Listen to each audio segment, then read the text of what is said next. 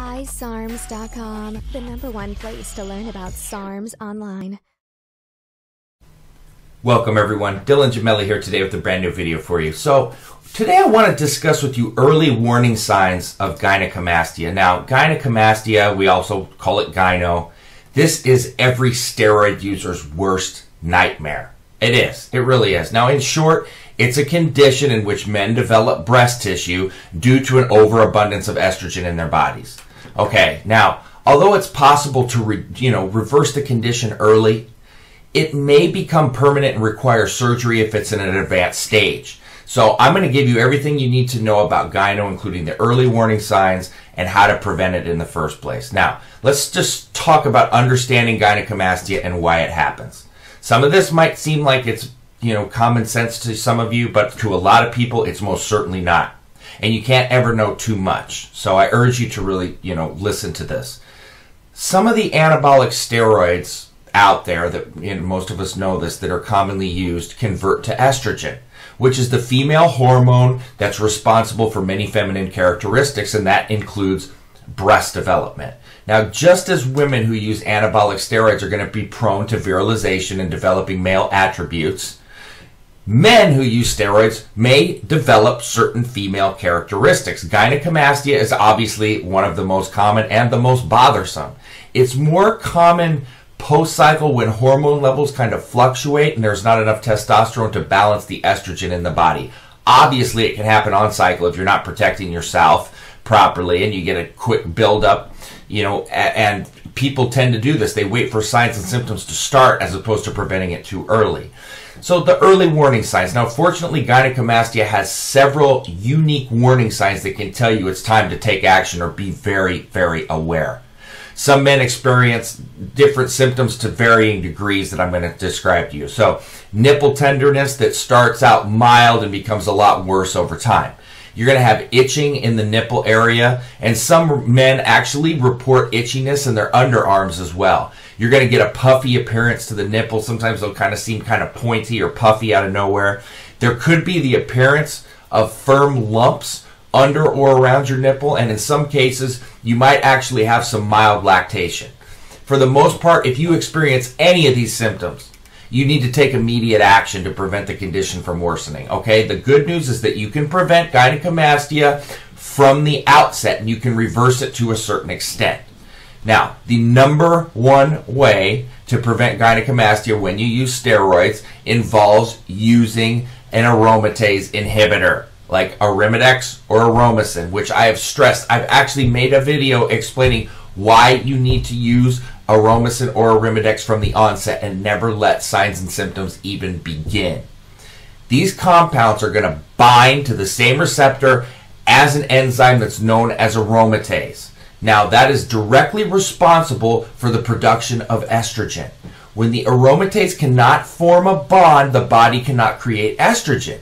Without estrogen, there's no risk of gynecomastia. Most steroid cycles out there are going to call for 0.5 milligrams of Arimidex every other day or 12.5 milligrams every other day of Aromasin. Now, Aromasin, I've done comparisons. I'm not going to sit here and get into Aromasin versus Arimidex. All I'm going to tell you is this.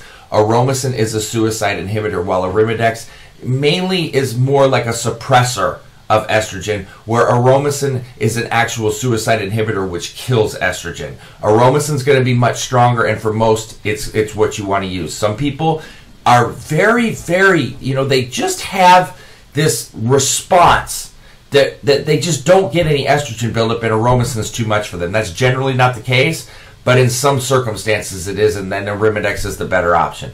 But they're both aromatase inhibitors. Aromasin just being stronger.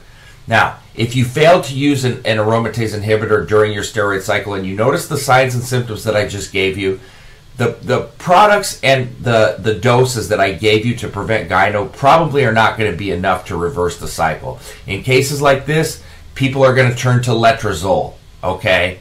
And they take about 20 micrograms daily until the symptoms disappear, but some people will actually go up to 2.5 milligrams a day, which is a very high dose. And you need to be careful, but a lot of times it's necessary. People that do the 20 micrograms, they're easing into it, okay?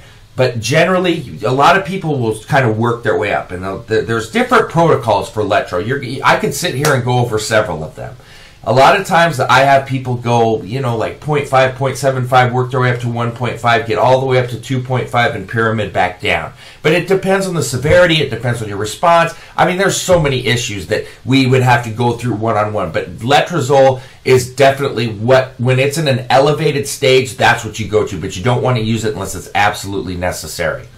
Okay? A lot of times in severe cases, you're going to have to get surgery to correct it. I've had to have it done. I had gyno just from puberty, not from steroid use, and nothing that I did could reverse it. And a lot of times, people with pubertal gyno, that, that it's really a long shot. We, I've got protocols that involve Letro, Nolvadex, Raloxifene, followed by Aromasin that have worked, but it's not a guarantee, and I don't like to ever get people's hopes up. There's a chance, but I don't want you to, to bank on that chance, I guess, because I see it not work more than it does. But I'm not saying it's not possible because I've seen it work several times as well. I just don't take it as, oh, this is going to work. Okay, I don't want to give anybody a false hope, but there is a chance. So if you if you have that situation, email me. I'll give you the protocols that I know that have worked. Now, although gynecomastia is one of the most embarrassing situations you can find yourself in, it is possible to prevent it and even reverse it in its early stages. Understanding the signs and symptoms is going to give you a really strong starting place. And knowing what to do when they occur can prevent almost all of the most severe cases. So that's the signs and symptoms of gynecomastia. That's how to treat it. That's what to look for. Email me if you've got any questions. Always get blood work to confirm because there are signs and symptoms that are similar of low and high estrogen, but generally you do know when your estrogen's elevated. But email me if you've got any questions whatsoever. So Dylan Gemelli, signing off iSARMS.com, the number one place to learn about SARMs online.